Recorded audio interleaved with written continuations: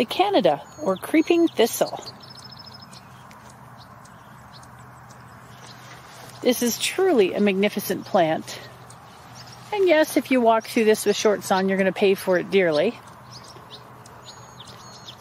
This is a plant that has a very interesting history. When Scotland was under an imminent Viking invasion, the Scots piled up all their beaches with as many thistle plants as possible, possibly other thistles in addition to this one.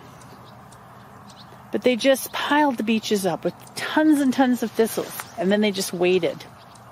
During the night of the invasion, the sandal clad Norsemen leaped onto the beach and let out cries of pain and curses.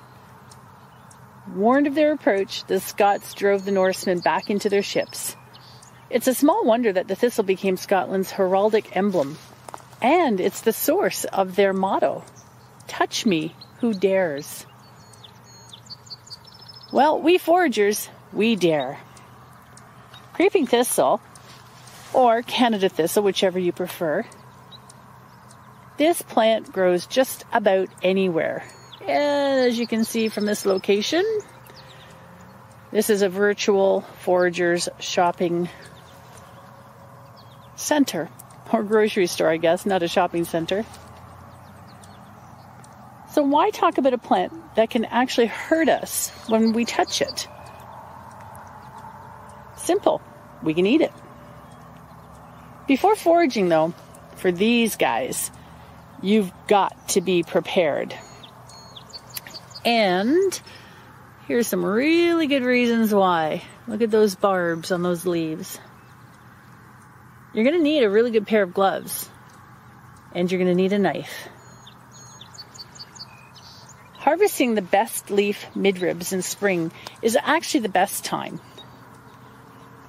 in terms of flavor. And there are some smaller ones in here somewhere. I might have to take a little walk later to find them for you.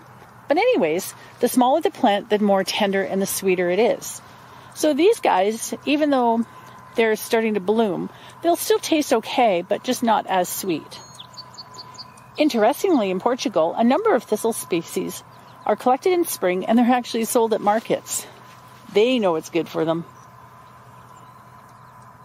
A recent academic study highlighted the nutritional value of eating thistles.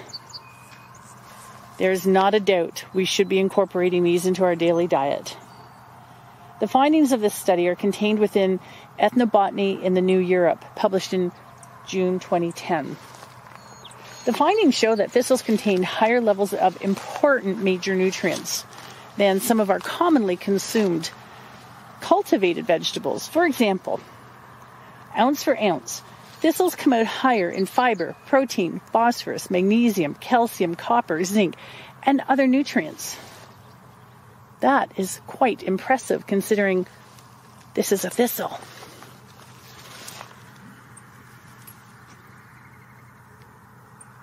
Preparing thistles is pretty easy actually.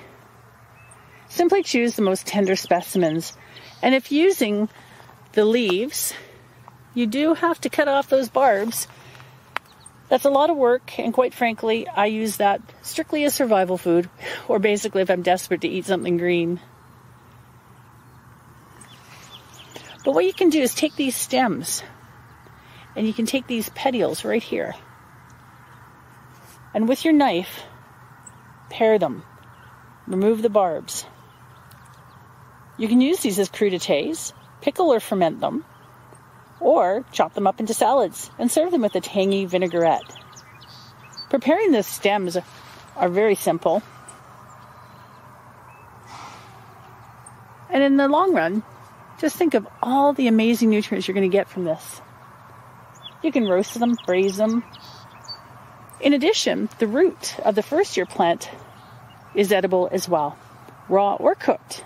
They're nutritious, but compared to the stems and the leaves, actually, they're quite bland. So, one thing you should know about the root though, it does probably contain inulin, I've not actually confirmed it at the time of doing this video, but I'm pretty darn sure that these roots would contain inulin. And this, of course, is a starch that cannot be digested by us. The starch passes right through our digestive system, and of course, with some of us, that means there's going to be some fermentation happenings that transforms into flatulence. but sometimes that's an okay thing too.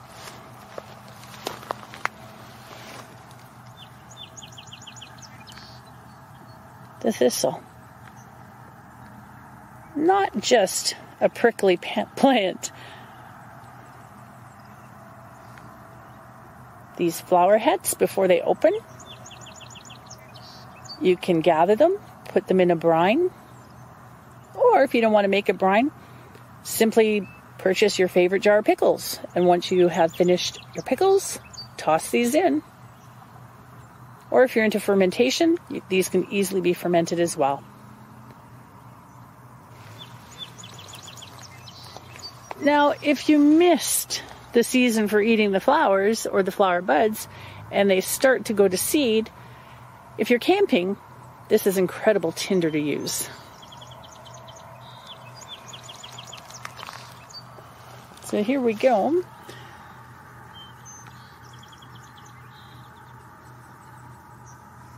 The Canada thistle. Add this to your diet. Your body will definitely thank you.